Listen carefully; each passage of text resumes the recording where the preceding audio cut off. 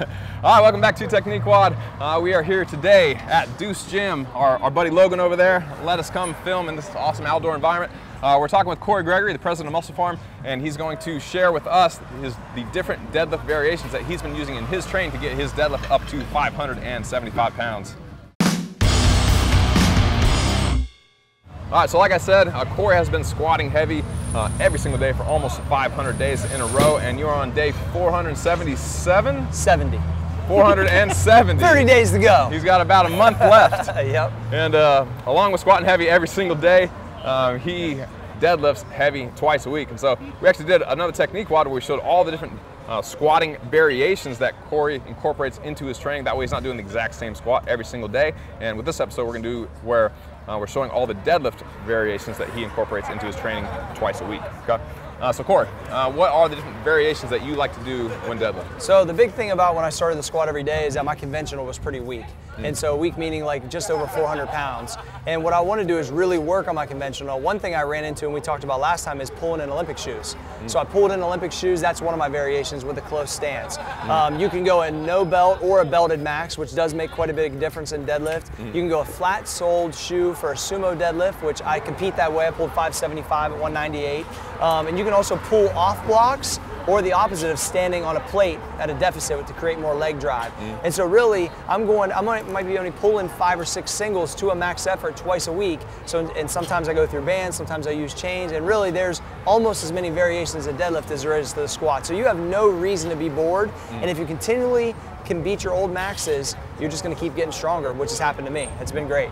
All right, so you said you said you could change your footwear, you could change your stance, how wide your feet are. You said you could add chains or bands. Um, belt or no belt. Belt or no belt.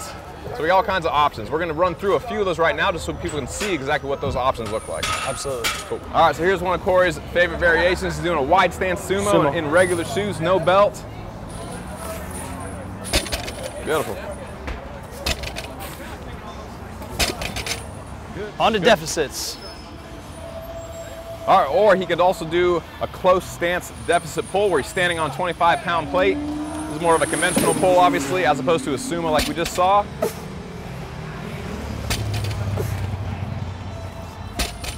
Beautiful. Another variation, he could do the opposite. Instead of standing on a plate, he could actually elevate the bar and do kind of a, a rack pull or just pulling from blocks. And again, this time he happens to be wearing weightlifting shoes, no belt. Again, you can change the footwear or add a belt. All right, or another way you can do it, and Chris is gonna steal Cory's spotlight here, is to you know, add a bunch of chain to the middle of the bar.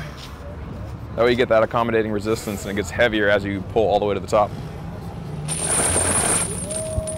Go. Thanks, dude.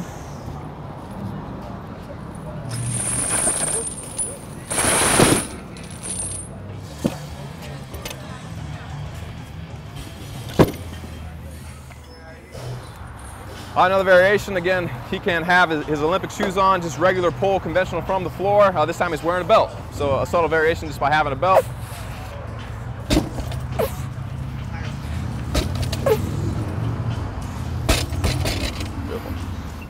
You're so varied, bro. Yeah.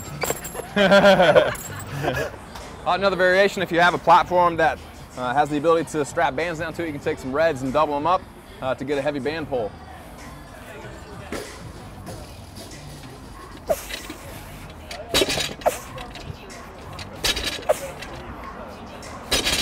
Those bands don't look like much, but they're kicking hard at the top. Oh, they're kicking hard at the top. All right, one more variation you can do is you can hang bands from above, doing a, a reverse band pull where the band's giving you some tension at the bottom, and then as he picks it up, you know, more and more of the weight on the bar ends up in his hands because the band tension isn't helping him out anymore. So in this case, he's pulling sumo with, with reverse bands, regular shoes, no belt. Beautiful. All right, so we have all these different variations. We got reverse bands, we got bands, we got our stance width for whether you're doing sumos or regular pulls. You don't have to even have the same stance for each and every sumo you do. You can be super wide on one and then you know, bring your feet in six inches and then six inches more and it can still be a sumo with just a subtle variation. We have a belt, no, no belt. belt. We had we had rack pulls versus deficit pulls. Yep. And then all the different combinations therein, you could be doing you could be doing a rack pull with reverse band with weightlifting shoes on and no belt. Once you piece all those things together, you have hundreds of different variations that you could possibly do as far as uh, your deadlift options. So you never have to do the same deadlift over and over and over again. Uh, and, Cory certainly doesn't, and he's had awesome results because of that, deadlifting uh, close, close, to 600 pounds now. Yeah, 575. I'd, I'd, imagine you're chasing that 600. Oh, I'm gonna pull triple body weight, it's just a matter of time. yeah, yeah, not many people do, so that's pretty cool. So.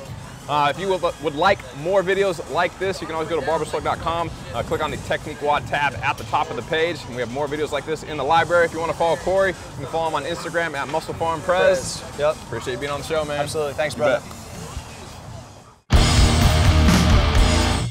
Join the conversation every week after the episode over at barbellshrugged.com. This is also where you'll find new episodes of Barbell Shrugged, Technique WOD, Nuggets and Pearls, Barbell Business, Get Change, plus new articles every day on our daily blog, written by us, guests of the show, and some of the biggest names in strength and conditioning.